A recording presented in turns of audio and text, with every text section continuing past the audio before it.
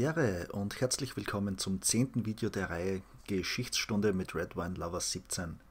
Im letzten Video habe ich euch die HMS Hawkins vorgestellt.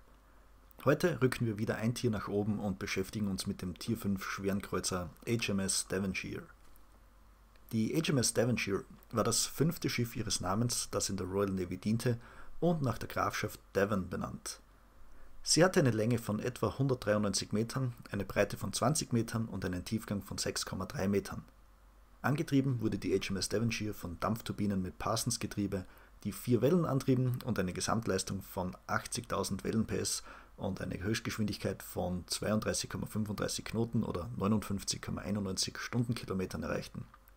Im Spiel ist die Devonshire deutlich langsamer und erreicht nur 31,3 Knoten. Die Devonshire hat vier 203 mm Doppelgeschütztürme sowie vier 102 mm Einzellafettengeschütze. In Legends hat das Schiff die gleiche Hauptbatterie, aber statt einzelner Sekundärlafetten hat es Zwillingskanonen. Das gleiche gilt für die Flakgeschütze, während die Torpedorohre wieder dem ursprünglichen Layout mit zwei Vierfachrohren entsprechen. Der schwere Kreuzer der County-Klasse und der London-Unterklasse wurde am 16. März 1926 auf Kiel gelegt und lief am 22. Oktober 1927 vom Stapel. Nach ihrer Fertigstellung im März 1929 wurde sie zusammen mit ihren drei Schwesterschiffen London, ähm, die es auch im Spiel gibt, Sussex und Shropshire, dem ersten Kreuzergeschwader der Mittelmeerflotte zugeteilt. Dort verbrachte das Schiff die meiste Zeit vor dem Ausbruch des Zweiten Weltkriegs mit einem kurzen Einsatz bei der China-Station zwischen 1932 und 1933.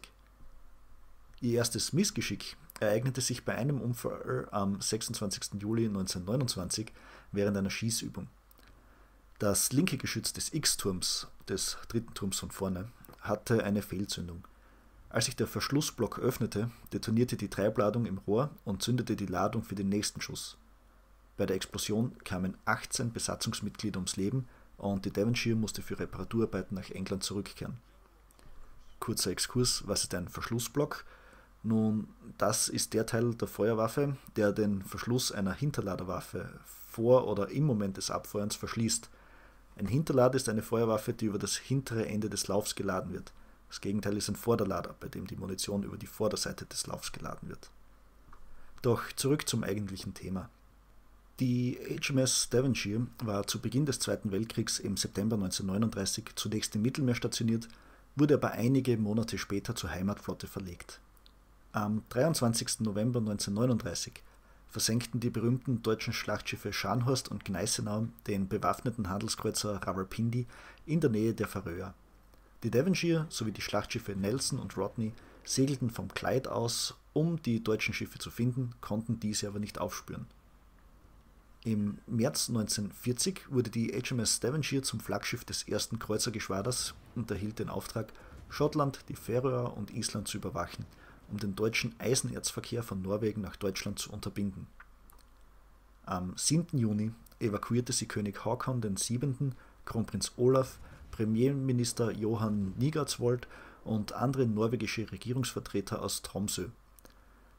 dabei kam sie bis auf 80 Kilometer an die Schlacht heran, in der Scharnhorst und Gneisenau den Flugzeugträger Glorious und zwei Zerstörer versenkten. Aufgrund ihrer wichtigen Passagiere wurde der Devonshire allerdings untersagt, in das Gefecht einzugreifen. Die Devonshire wurde der Force M zugeteilt, der Royal Navy Komponente der Operation Menace, einem geplanten Seeangriff auf Dakar im Senegal vor der Landung der Freien Franzosen am 28. August. Am 14. September versuchte die Devonshire erfolglos ein französisches Vichy-Kreuzergeschwader auf dem Weg nach Dakar zu lokalisieren und aufzuhalten. Nach zweitägigen Kämpfen bei schlechter Sicht wurde der Angriff jedoch ab, äh, abgebrochen. Allein am zweiten Tag hatte die Devonshire 200 Granaten aus ihren Hauptgeschützen abgefeuert, ohne einen einzigen Treffer zu landen. Das kann man wohl als ihr zweites großes Missgeschick betrachten.